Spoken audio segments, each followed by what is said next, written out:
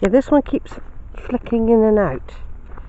So even though I was talking about the walk being a long uphill slog, it is for a long, long way.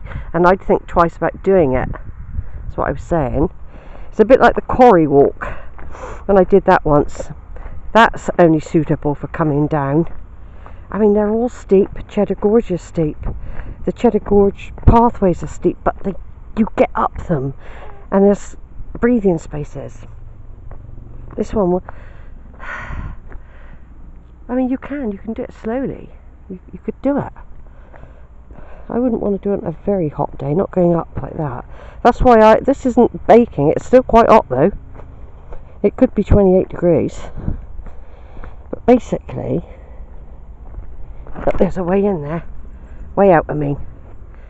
Yeah, basically, um, it's going to be hotter for the rest of the week. So I'm just doing small walks. Um, but I'm enjoying this. I just love this. My beautiful Somerset, I tell you. I like other places, but I always like coming back here and I'm still exploring. I'm still exploring all this, this beauty. Lovely little daisies there. Little moths and butterflies. There. Yeah, like I said, I haven't seen any snakes. But I expect they're all out, enjoying themselves. Now I've got to come down to a place called Bradley Cross now, where I'm. I don't want to go straight down the lane into Cheddar. I want to take the Weavy way round still.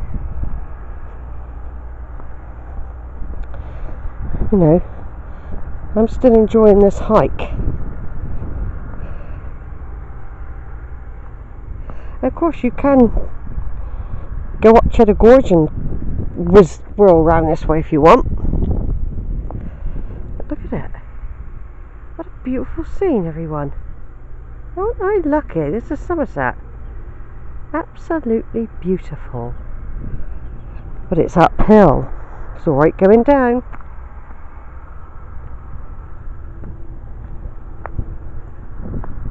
Right, over and out for a minute.